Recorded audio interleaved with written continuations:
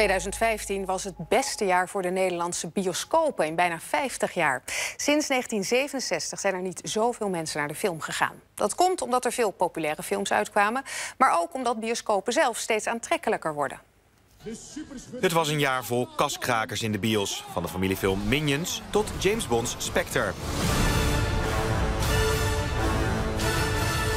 En van Star Wars tot Jurassic World. Die hebben absoluut bijgedragen tot een enorm succes van het afgelopen jaar. En hoe vaak gaan wij nou naar de bioscoop per jaar gemiddeld? Ja, de Nederlander gaat eh, bijna twee keer per jaar gemiddeld naar de bioscoop. En uh, er is nog wel wat ruimte voor groei, maar het begint toch wel echt uh, erop te lijken nu.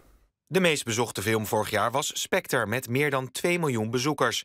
En in totaal gingen we bijna 33 miljoen keer naar de bios, een stijging van 7 procent.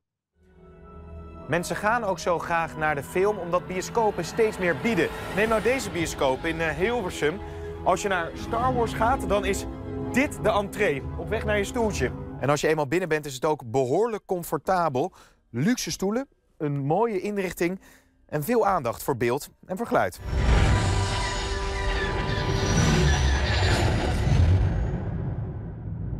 Chewie, we're home. Deze zaal is helemaal zwart, uh, helemaal erop gericht dat je niet wordt afgeleid van de filmbeleving. De rijen zijn gecurved voor een optimale zichtlijn. En daarnaast het beeld. Uh, dit is Dolby Vision, dat wil zeggen dubbele laserprojectie, uh, waardoor wij meer kleuren hebben, en groter contrasten, echt zwart, echt wit. De kleuren spatten van het doek af. Ja, dat klinkt allemaal even prachtig. Maar toch is het opvallend dat zoveel mensen naar de bios gaan.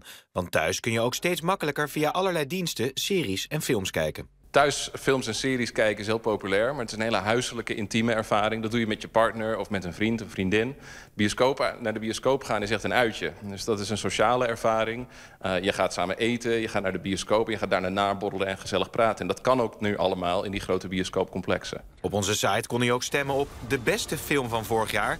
James Bond werd tweede. De meeste stemmen gingen naar Star Wars. En de Minions kwamen er niet aan te pas. Einde.